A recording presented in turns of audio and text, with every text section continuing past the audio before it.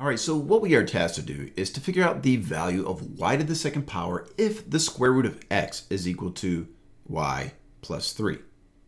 All right, now if we know what y is equal to, we would just take that and we would square it because we have to figure out what y to the second power is. So what we're going to do is we're going to take this expression right here, the square root of x equals y plus 3. And what we're going to do is we're going to solve for y. In other words, we're going to get y by itself. So let's go ahead and isolate this variable right here. So to do this, what we could do is we could take this positive 3 here and send it to the other side of our equation by subtracting 3 because opposite integers cancel out to be nothing, but to balance our equation, we have to subtract 3 from this side. So now what we have is the square root of x minus 3 is equal to y. So now we know what y is equal to. It is equal to the square root of x minus 3. So what we have to do now is just take y and square it.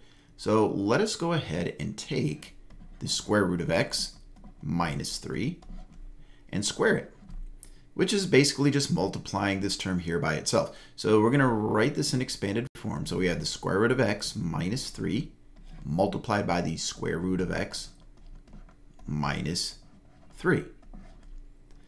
All right, so what we're going to do now is we are going to multiply these first two terms together. So we have the square root of x times the square root of x, which is just equal to x. Now, whenever you're multiplying something under the radical by itself, all you have to do is remove the radical and write what's underneath that one time. For example, let's say we had the square root of 9 times the square root of 9. The answer would just be 9.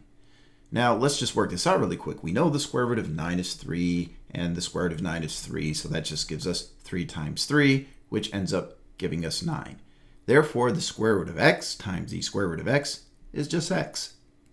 All right, the next thing that we're going to do is we're going to take these outer terms and multiply them, and then take these inner terms and multiply them. So we have negative 3 times the square root of x, which is just negative 3 square root of x. So we just write them right next to each other. This indicates multiplication. And we have the same two values for our inner terms here. So once again, we're going to write minus 3 square root of x. And the last thing we have to do is multiply these two terms together. We have negative 3 times negative 3, which is positive 9. Now we have four terms in this expression, and these middle two terms here are like terms because they're both in terms of the square root of x. So what we're going to do is just combine these two terms here. So we rewrite this entire expression as x, and when we combine these two terms, we get minus 6 square root of x. We leave the square root of x alone. We just write it one time, and all we do is add the coefficients together, which is negative 6, and then just bring down this positive 9. And this is as far as we can go because there are no more like terms to be combined. So our answer right here is choice D.